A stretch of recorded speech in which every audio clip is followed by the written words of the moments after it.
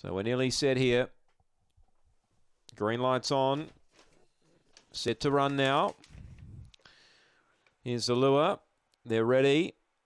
Racing. Speed in the middle here from Lot of Poise. Uh, can't, can't quite get over though. Spring Bonnie's going to boot up and hold it. Third is Rush's Roar. The inside velocity Zalia. Railing up was Sister Roberta. Deep out winners win going forward. Then came Influencer. Last of all is Cobalt Missile. Leader is Lot of Poise. Gets away by two. Running on was Spring Bonnie. Out wide was uh, Sister Roberta and winners win. But Lot of Poise defeats Sister Roberta.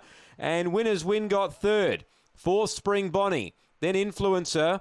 Uh, Rush's Roar didn't have much luck. Neither did Velocity Zalia.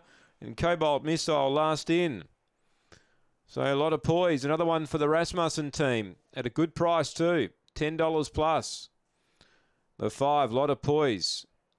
Was able to work to the lead mid-race and was strong late. Sister Roberta couldn't reel him in. And winners wins come down the outside to grab third. Five, two, eight are in the frame. And four gets fourth, and that is Spring Bonnie. Five, two, eight, four.